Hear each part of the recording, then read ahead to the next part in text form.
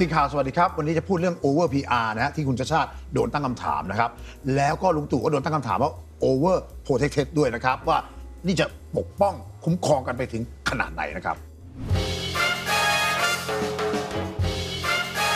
ซึ่งมันก็คือการสื่อสารออกมาด้วยภาพที่เราเห็นในข่าว เขาบอกว่าสื่อสารดีก็พาให้องคาพยพดี การสื่อสารสำคัญขนาดนั้นเลยเหรอคะสำคัญมากครับสำคัญที่สุดในยุคนี้ด้วยนะครับ ผมกำลังจะบอกว่าโลกนี้มันบ้าไปแล้วนะครับ ปีสุดท้ายของลุงตู่ที่จะบริหารประเทศ โลกนี้มันบ้าถึงขนาด ส่งคุณชาติชาติชนะเลือกตั้ง เข้ามาเป็นข้อเปรียบเทียบกับลุงตู่เฉยเลยนะครับ เพราะฉะนั้นจะเห็นว่าสองคนนี้เนี่ยว่าในเรื่องการสื่อสารเนี่ยเหมือนยืนอยู่คนละฝั่งของโลกเลยนะครับ คนหนึ่งพยายามจะเจอวิกฤตและสื่อสาร อีกคนหนึ่งมีโอกาสแล้ว แต่สื่อสารให้เป็นวิกฤต เฉยเลยครับ อืมก่อนจะไปเรื่องนั้นเอาเรื่องของหลักการก่อนก็แล้วกัน การสื่อสารที่ดี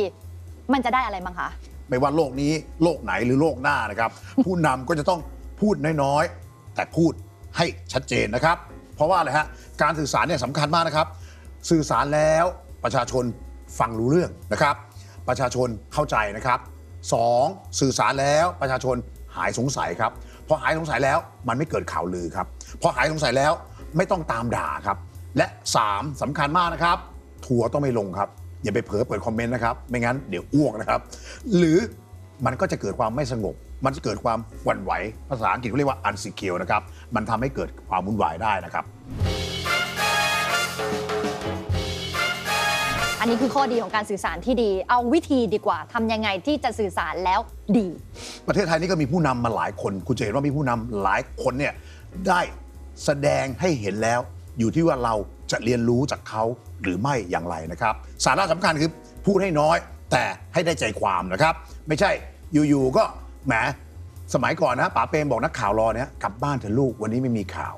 หรืออย่างพลเอกประวิตยนะไม่รู้ไม่รู้ไม่รู้ไม่รู้ หรืออย่างคุณชวนไม่รับรายงาน อันนี้ไม่ได้อยู่ในหัวข้อนี้นะครับ พูดน้อยหมายความว่าพูดนะครับไม่ใช่ไม่พูด แต่ให้ได้ใจความครับสองคำสัญญาทั้งหลายที่พูดไปต้องทำได้นะครับเขาเรียกว่า คำพูดเป็นนายเรานะครับสามฮะต้องเชื่อมโยงกับผู้คนได้ทุกกลุ่ม ไม่ใช่เชื่อมโยงกับกลุ่มที่สนับสนุนตัวเองอย่างเดียว คนที่เขาต่อต้านก็ต้องให้เขาสบายใจด้วยนะครับสี่ครับเคารพและเปิดใจให้กับคนอื่น อันนี้ใกล้เคียงกันเลยนะครับ และห้าครับไม่โยนความผิดให้กับคนอื่นๆครับ และที่สำคัญที่สุดคือ อย่าไปสั่งสอนเขาตัวเองไม่ได้เป็นสังฆราช อย่าทะลึ่งครับ ห้เห็นภาพชัดเลยดีกว่า สิ่งที่พี่พูดมาในหลักการนี้มีอะไรบ้าง คุณชาติชาตินี่เหมือนจะมาเพื่อเปรียบเทียบกับลุงตู่เลยนะครับ คนหนึงเป็นผู้นำของประเทศ อีกคนหนึงเป็นผู้นำท้องถิ่นที่มาจากการเลือกตั้งนะฮะคุณจะเห็นไหมคุณชาติชาติเนี่ยตอนที่ไปอยู่ในกลุ่มราษฎรเด็กๆเนี่ยเขาก็จะให้คุณชาติชาติแสดงจุดยืนเรื่อง1นึครับคุณชาติชาตินี่นะครับเขาบอกว่าอย่าเอา1นึมาเป็นเครื่องมือแล้วสร้างความแตกแยก คุณฟังดูแล้วคุณจะงงนะครับ แต่จริงๆแล้วคุณชาติชาติบอกว่ามันต้องใช้เวลาหน่อย อย่าเพิ่งเอา1นึเป็นตัวตั้งนะครับ เด็กๆมันฟังแล้วมันยังงงเลยนะครับ แต่คุณชาติไม่ปฏิเสธ แล้วก็ไม่ถึงขนาดสนับสนุนจนกระทั่งนะกลุ่มที่เขาต่อต้าน 3 นิ้วออกมาโวยวายนะครับ คุณชาติรอดคุกครับ แล้วก็ได้คะแนนเสียงจากเด็กด้วยเห็นไหมฮะเรื่องการชุมนุมครับตอนนี้เด็กชุมนุมใหญ่เลยอยากดูว่าชาติชาติจะตอบโต้ยังไงนะครับ ในขณะที่คนที่อยู่ตรงข้ามเด็กก็อยากดูด้วยว่าผู้ว่ากทมเนี่ยมีจุดยืนยังไง คุณชาติชาติ พูดยังไงรู้ไหมครับคุณชาติจะหาที่ชุมนุมให้ครับเป็นไงครับไม่ได้เกี่ยวกับเนื้อหานะครับคุณชาติบอกไม่ได้เกี่ยวกับเนื้อหาการชุมนุมนะครับเนื้อหาของการชุมนุมนั้นคุณชาติไม่เกี่ยว คุณชาติมีหน้าที่หาความสะดวกให้ก็จะหาที่ชุมนุมให้เป็นยังไงครับ คุณชาติก็รอดไปอีกเรื่องการชุมนุมนะฮะหรือเรื่องบ้านที่อเมริกาฮะคุณชาติพูดชัดเจนเลยครับว่าได้มรดกจากที่ดินแถวพระราม4นะครับขายที่ดินแล้วก็ซื้อบ้านราคา 72 ล้าน และซื้อบ้านมันก็คือ investment มันคือการลงทุนในอเมริกานะครับจากซื้อล้านกว่าเดี๋ยวนี้ มันประเมินไป 2 ล้านเหรียญ US แล้ว เขาก็เคลียร์แล้วชัดมากกว่าที่ดินที่นายกคุณพ่อขายเองนะครับ หรือดนตรีในสวนนะครับ อยู่ๆกองทัพบกก็อยากจะจัดบ้าง แล้วคนก็จะไปเสี่ยมให้คุณชัชชาติเนี่ย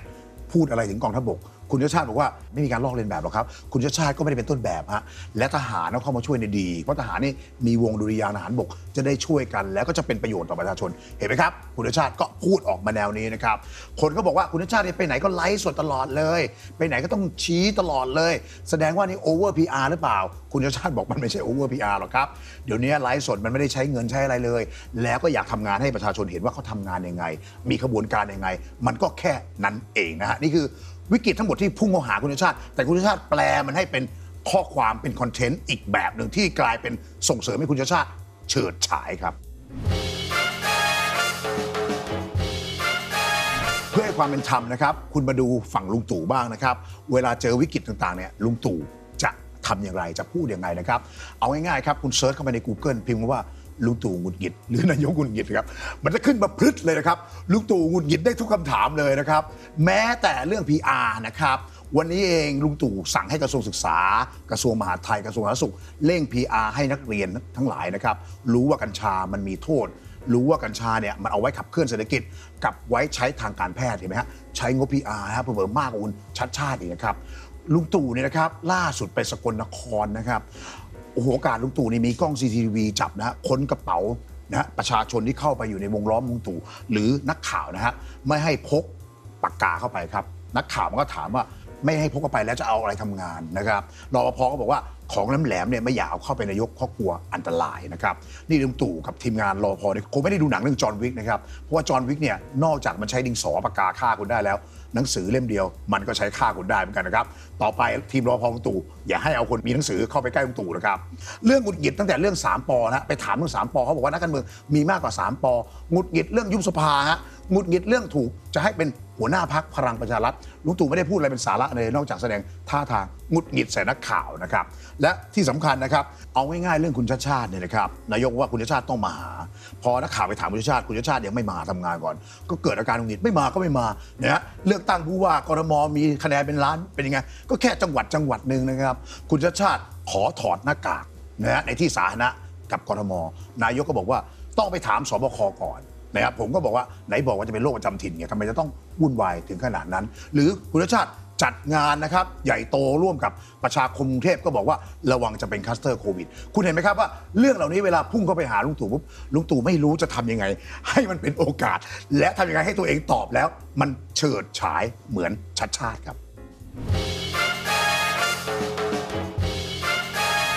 วันนี้ติ่งข่าวเราพูดกันถึงเรื่องของการสื่อสารนะคะ ในรูปแบบต่างๆ เมื่อเช้านี่นายกก็ไปสื่อสารนะ ที่งาน Thailand Summit 5G มีแบบเน็บเน็บเน็กข่าวนิดนึงด้วยนะว่า เดี๋ยวนี้นักข่าวจ้องหน้าผมทุกเช้าจะรู้หมดเลยว่าผมอารมณ์ไหนเป็นยังไงไวยิ่งกว่า 5G นี่ถ้าเป็นคอมพิวเตอร์นี่ผมเครื่องแฮงก์ไปแล้ว ครับ ไม่ใช่เขาจ้องนายกคนเดียวหรอกครับ ผู้นำประเทศทั้งหมดโดนจ้องหมดนะฮะ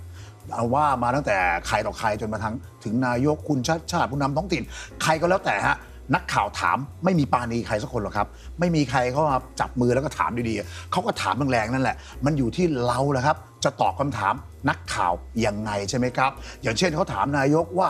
จะเป็นหัวหน้าพรรคพลังประชารัฐไหมมันใช่เวลามาถามไหมอะไรอย่างนี้เป็นต้นนะครับเขาไปถามคุณชาติถ้าเลือกตั้งไม่ได้แล้วจะทำยังไง คุณชาติบอกว่า โลกนี้ขาดเราได้ อย่าไปคิดว่าตัวเองสำคัญ คุณเห็นไหมครับ มันอยู่ที่คนตอบครับ แล้วโลกไม่ได้ใจร้ายกับนายกคนเดียวฮะโลกนี้มันใจร้ายกับนักการเมืองทุกคนนะมันถามคำถามแรงๆกับนักการเมืองทุกคนแหละครับเพราะนักการเมืองทุกคนมันกินเงินภาษีของประชาชนครับ